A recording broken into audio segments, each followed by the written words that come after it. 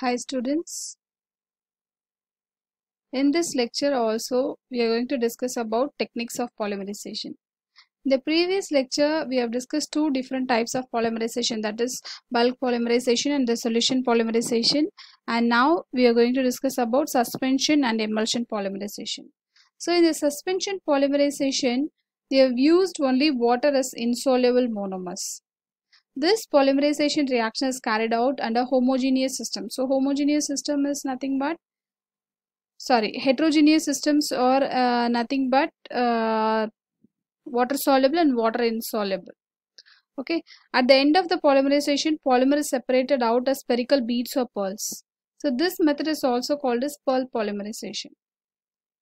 So here the water insoluble monomer is suspended in water tiny droplets and initiator is dissolved in a, it by a continuous agitation. So the suspension is prevented from coagulation by using suspending agents like PVA, gelatin, methyl cellulose, etc.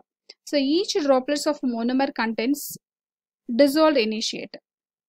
The whole content is taken in a flask and heated at a constant temperature with vigorous agitation in a thermostat with nitrogen atmosphere. So at the end of 8 hours, pearl-like polymers are obtained, which is filtered and washed by water. So this is the simple schematic uh, representation of preparation of suspension polymers. So here the monomer is suspended in water and the initiator is dissolved in monomer and we are taking suspending agent in order to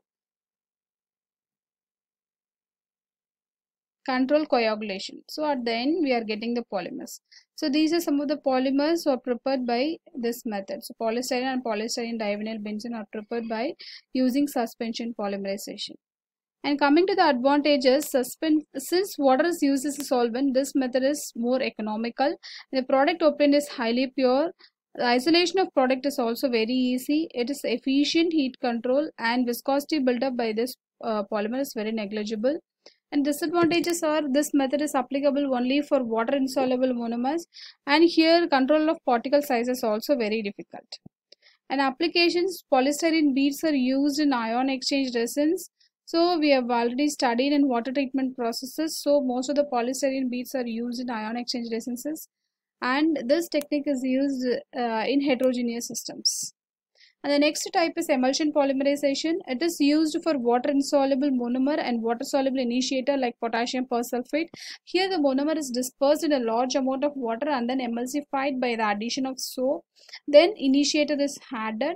The whole content is taken in a flask and heated at a constant temperature with vigorous agitation in a thermostat at nitrogen atmosphere. After 4 to 6 hours, the pure polymer can be isolated from the emulsion by the addition of de-emulsifier like aluminum sulfates. So this is a simple schematic diagram for the preparation of emulsion polymer. And the advantages are the rate of polymerization is very high and the heat can be easily controlled and hence the viscosity buildup is low. Here, uh, we can able to prepare high molecular weight polymers the disadvantages are the polymer needs purification and it is very difficult to remove entrapped emulsifier and de-emulsifiers and requires rapid agitation. Coming to the application, this type of polymerization is used in large-scale production of water-based paints, adhesives and plastics. This method is also suitable for manufacturing sticky polymers like butadiene and chloroprene. Thank you.